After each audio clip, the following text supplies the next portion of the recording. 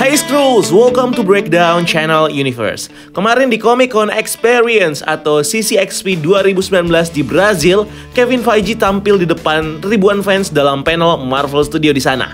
Dan di sini Kevin Feige mempresentasikan beberapa hal baru tentang Phase 4 Marvel Cinematic Universe. Dan yang paling bikin excited, Kevin Feige memutar kepada audiens yang datang di sana beberapa video raw dari project film The Eternals yang sedang berjalan produksinya. Footage ini eksklusif ditayangkan hanya di sisi XP 2019 dan tidak diperkenankan untuk dibocorkan keluar nih footage-nya. Nah, meski begitu, beredar deskripsi yang menceritakan apa saja yang ada di dalam footage video raw yang diputarkan Kevin tersebut. Kali ini kita bakal ngebahas tentang deskripsi ini dan apa aja sih yang ada di dalam video tersebut, sekaligus membahas tentang topik yang dibawakan oleh Kevin Feige mengenai project film The Eternals mereka. So nggak perlu lama-lama lagi bareng gue Rian, mari kita bahas topik kita kali ini.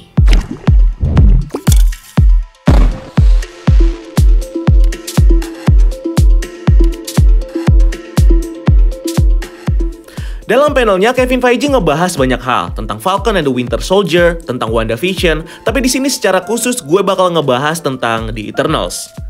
Dalam panelnya, Kevin Feige memperkenalkan lagi sutradara dan jajaran cast yang terlibat di film ini. Tentunya nggak datang ya, hanya di dalam gambar. Disutradarai oleh Cleo Zhao, melibatkan berbagai aktor dan aktris papan atas Hollywood.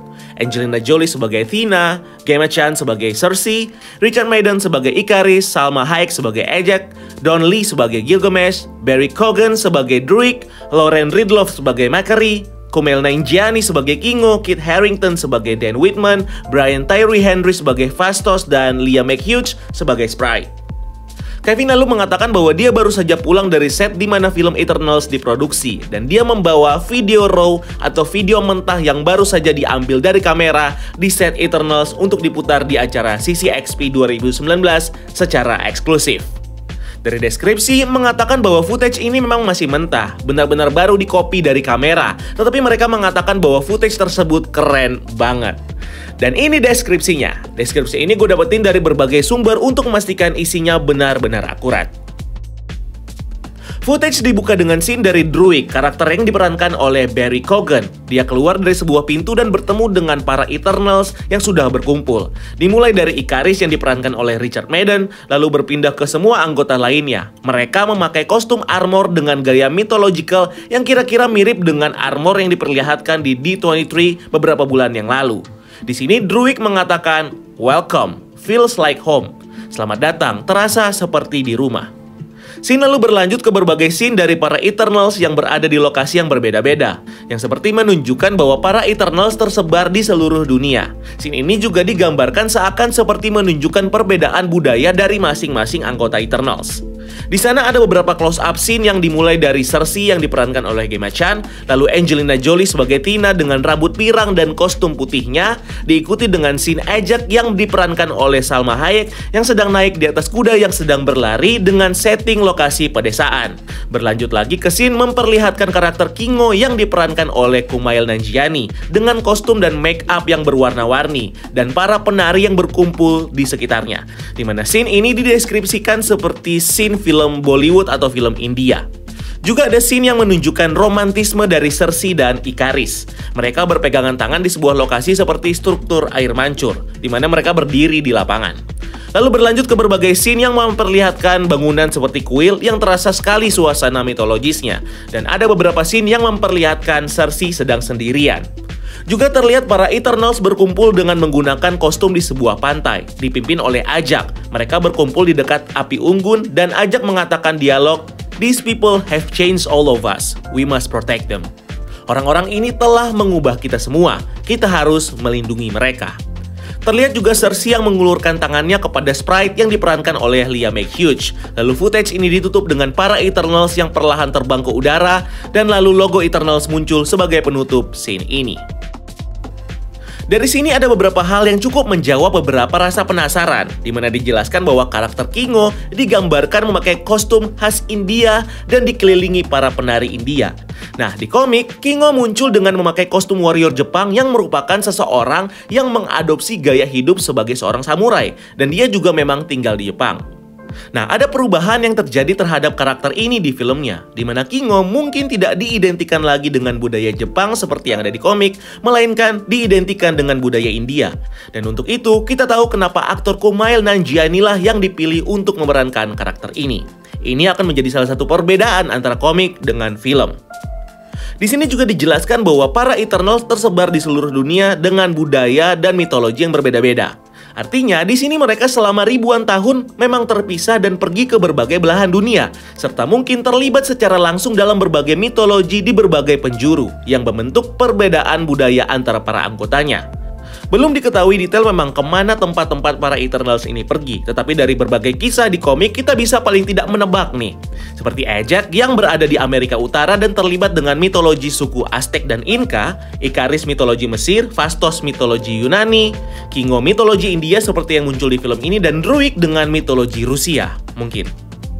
Di sini juga dijelaskan tentang love interest antara karakter Ikaris dan Cersei yang romantic scene-nya diperlihatkan jelas di footage ini, yang sekaligus membantah orientasi seks dari karakter Cersei yang sebelumnya dikatakan adalah seorang lesbian. Dalam wawancaranya, Kevin Feige juga menjelaskan bahwa film Eternals terjadi dari waktu modern atau masa sekarang hingga ke sekitar 70 ribu tahun yang lalu dan melompat ke berbagai waktu dan lokasi. Kevin juga menjelaskan bahwa para Eternals mengetahui tentang para Avengers, tetapi sebaliknya, para Avengers tidak mengetahui tentang para Eternals. Ini memang jelas karena para Eternals sudah hidup ribuan tahun yang lalu tetapi tidak menonjolkan diri mereka. Meskipun dalam footage yang dijelaskan tadi, mereka memiliki tujuan untuk melindungi manusia, tetapi mereka memilih untuk stay low dan tidak menonjolkan diri. Dan itulah kenapa Avengers tidak mengetahui tentang mereka, tetapi jelas mereka mengetahui tentang Avengers. Lompatan waktu ke ribuan tahun lalu juga akan menjelaskan kepada kita tentang bagaimana peran para Eternals dan keterlibatan mereka dalam peradaban manusia dari masa ke masa.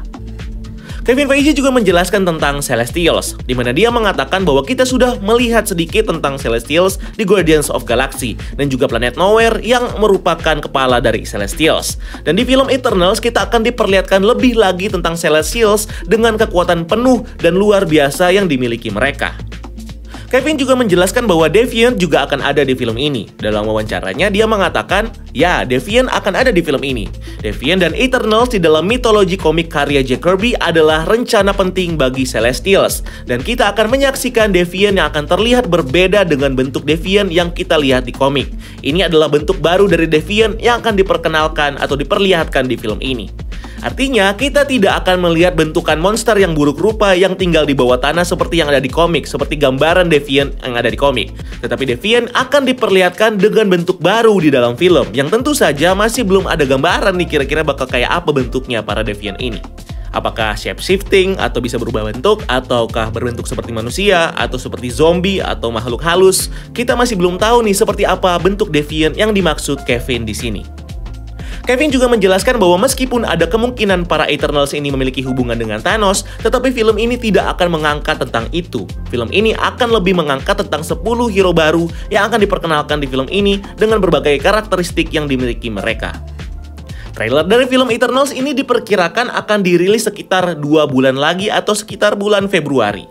Ya kita tunggu aja ya bakal seperti apa filmnya nanti yang pasti nggak sabar lagi nih untuk nungguin trailernya. Bahkan bocoran yang ada di sisi XP ini ditunggu banget. Tapi kayaknya memang agak susah ya. Kalau udah muncul di YouTube pasti langsung di take down. Kevin Feige dalam panelnya memang secara spesifik mengatakan bahwa Eternals akan berfokus pada perkenalan 10 hero-hero ini dan pastinya akan ada satu film yang akan mempertemukan semua hero dalam satu film seperti film Avengers. Meskipun masih lama, tapi Kevin meyakinkan kepada kita bahwa mereka sedang menuju ke sana dan mungkin akan terjadi di phase 5 kali ya atau di phase 6. Yang pasti kita tunggu saja rencana besar dari Marvel Studio yang akan diperlihatkan nanti di fase-fase atau di film-film berikutnya. Silahkan tinggalkan komentar di bawah kalau kamu punya pendapat tentang topik kita kali ini. Dan jangan lupa untuk like video ini dan subscribe untuk konten-konten menarik lainnya. Follow juga akun sosial media kita lainnya untuk hal-hal yang tidak kalah seru. Dan sampai ketemu di video selanjutnya. Gue Rian pamit, keep exploring the universe.